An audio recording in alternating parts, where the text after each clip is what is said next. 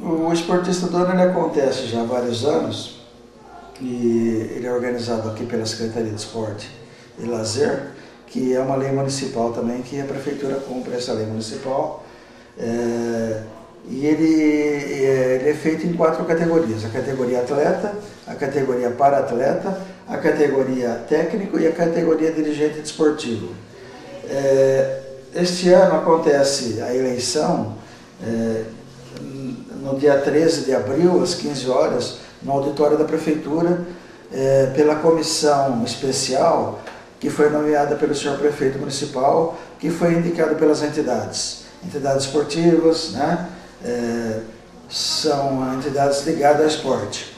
E estará então um representante de cada entidade é, elegendo nessas quatro categorias.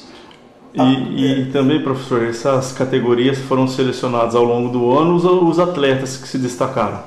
Eles foram indicados é, pelas entidades que, que têm, é, no mínimo, uma modalidade esportiva é, em competição e é referente ao resultado do ano de 2011. E essa, esses atletas estarão presentes para receber as suas premiações, onde que vários nomes foram indicados. Isso, a gente está convidando os atletas para eles participarem da eleição, né?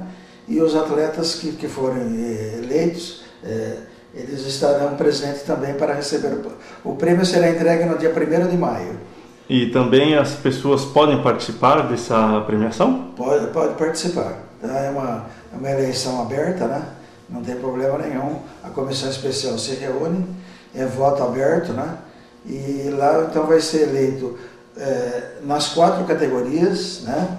A primeira eleição, que é a eleição do esportista homenageado. Após essa eleição, é, dentre os quatro eleitos em cada categoria, vai ser eleito um que será o esportista do ano. Jornal DBC Web.